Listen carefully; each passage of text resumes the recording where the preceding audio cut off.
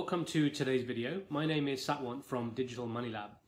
Today I want to show you how online, mobile and face-to-face -face transactions are going to get much faster and more secure in future.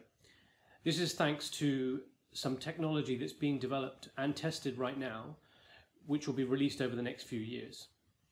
Now, before I get to the cool stuff to show you what's coming, I wanted to start by explaining the current problems that exist, how the payments industry have actually tried to solve those problems so far, and finally, what you can expect in the near future that's going to make e-commerce and face-to-face transactions much, much easier.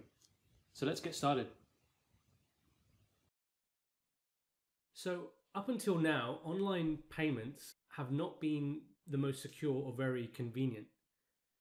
On the security side of things, there have been hundreds of security breaches and hacks, especially over the last few years. If we look at this chart from the website informationisbeautiful.net, you can see that hundreds of millions, in fact, billions of identities or usernames and passwords, etc., have been leaked or breached over the past 10 plus years. And this is a situation that simply can't continue.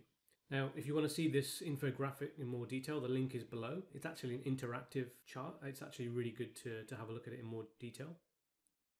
Now, the next thing is it's also been very difficult for smaller businesses to build high quality websites with smooth payment process, such as something like Amazon, for example, so that customers can buy with a very few number of clicks.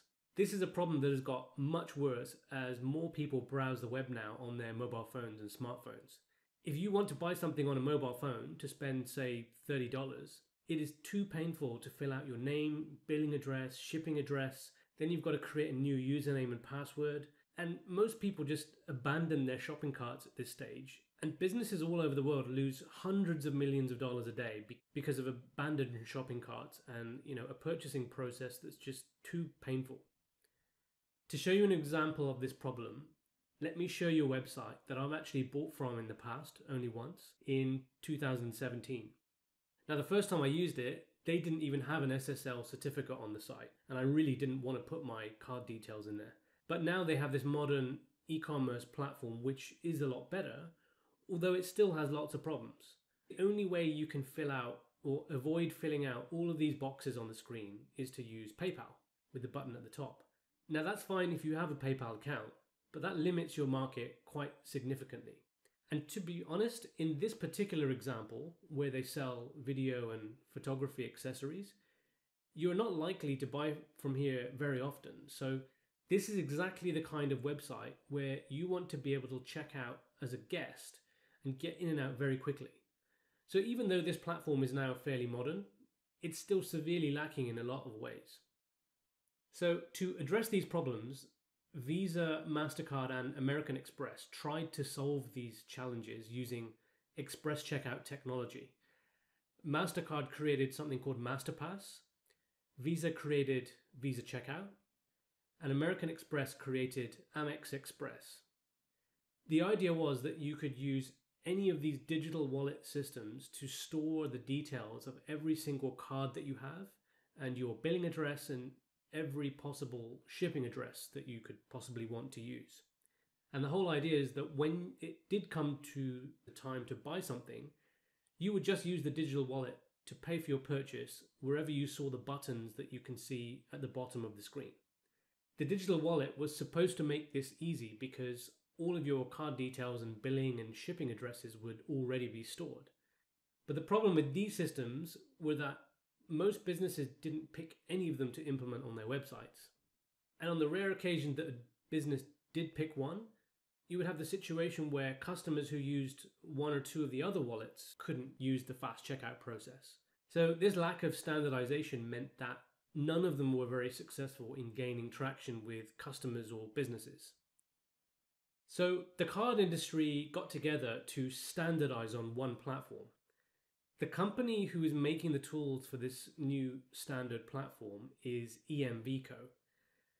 You're probably familiar with EMVCo because they are the company that has designed the chip and pin system that is embedded in credit and debit cards pretty much all over the world now. EMVCo have now extended their capabilities to make a whole set of brand new features that will make e-commerce much faster and more secure in future, whether you're doing business online or face to face. On this slide, you can see all of the technologies that they're working on within this new standard.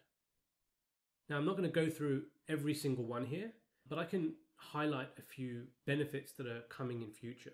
So we have obviously contactless technology and, and, standard contact card technology on the top left anyway. But let's focus on some of the new stuff. So QR codes are the bottom left. That's where a business or a merchant will be able to show a QR code to the customer uh, and, and, and point their phone to pay or the other way around. So it can be customer initiated or merchant initiated. The other thing you've got on the top right is payment tokenization. So that's great for security so that card detail, the card number doesn't have to be sent every single time that a transaction needs to be completed. The system allows one off tokens to be passed between, say, a mobile phone and a card reader, as an example. The bottom right hand side shows you the 3D secure system.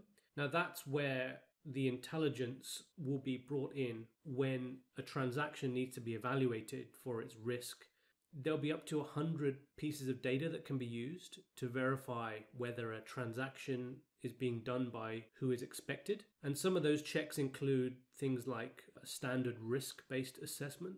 It can include geographic risk points, such as if you're sitting in America and you're trying to do a transaction in the UK with your UK credit card, well, that could be legitimate because you're on holiday abroad, or it could be dodgy because somebody's trying to do a transaction that isn't you. So there's a whole bunch of hundred different data points that can be used to verify who you are and whether to let that transaction go through or not based on the risk profile. In the middle on the bottom right is the secure remote commerce section. So that's just another way of saying the online transaction piece.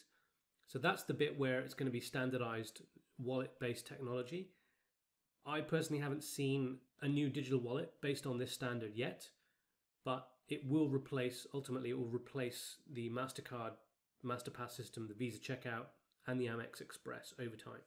So I've included the link to EMVCo below in the description, so I definitely recommend that you check it out. It's a pretty dry website.